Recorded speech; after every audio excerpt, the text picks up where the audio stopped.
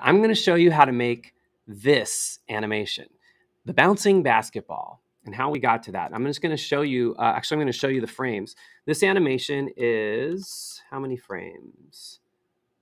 It is 14 frames long.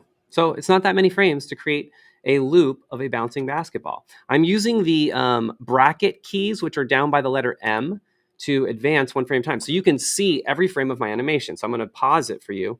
So the first one, I move the hand and the ball down a little bit, and you can see the overlap. And to see that overlap, by the way, it's called onion skinning. You can turn on onion skin right here, and you can see how far ahead and behind you can see uh, into the future or behind what you just did. Okay, then I'm going to hit the next one with the, I'm using the forward and back uh, brackets. I move down a little bit more. Then it's getting a little bit further. If you zoom in, I'm going to use the plus and minus to zoom in here so you can see in detail what I'm doing. By the way, plus and minus, or you can use the roll bar on your uh, on your mouse, the, the the center roll. That is a new feature of Pivot that I love. Okay, so I'm going to keep moving. Now it's going a little further.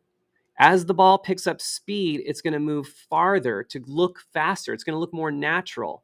If it's all exactly the same distance, it's going to look robotic. Okay? See, that one jumped even further. It's almost half the length of the ball. And then it hits the ground. Now, the next one, you'll see also, I don't know if you noticed, but my hand is starting to come back up. It's like you bounce the ball, and as the ball is hitting the ground, your hand is starting to come back up to catch the ball again.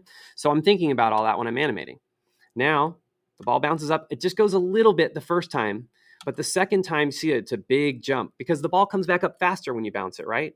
So to make it look real, that's the trick. You see it just it's going faster, faster, It catches the hand. The hand goes up a little bit with the ball to kind of hold the pre- take the pressure off the ball, and then it holds it, and then it throws it back down at the very beginning of the animation. And we have a pretty nice looking loop. And that's it. Um, if you want to find out more, I just I did this so that you could have a very quick version of how to animate the bouncing basketball.